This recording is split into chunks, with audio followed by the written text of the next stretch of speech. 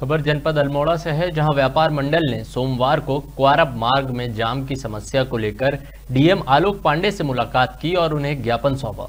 इस दौरान व्यापारियों ने बताया कि बार बार लगने वाले जाम से कुमाऊं के व्यापार, ट्रांसपोर्ट और पर्यटन पर बुरा असर पड़ रहा है, जिसके चलते सभी व्यापारियों ने क्वारब मार्ग का स्थायी समाधान, जाम से पर्यटन और व्यापार को बचाने के लिए त्वरित कार्रवाई की मांग करने की मांग की है। इसके अलावा व्यापार मंडल ने चेतावनी दी है कि यदि जल्द समाधान नहीं हुआ तो बड़े स्तर पर आंदोलन होगा।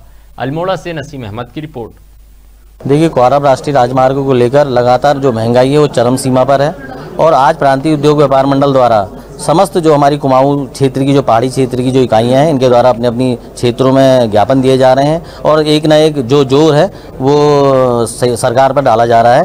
क्योंकि कहीं ना कहीं पर सरकार जो कान जिनके बंद हो चुके हैं, कहीं ना कहीं पर ध्यान नहीं दे रही है। हमारा माननीय, हमारा मुख्यमंत्री महोदय से भी निवेदन है कि शीघ्र, अतिशीघ्र क्वारब राष्ट्रीय राजमार्ग के दूसरे विकल्प के लिए सोचा जाए।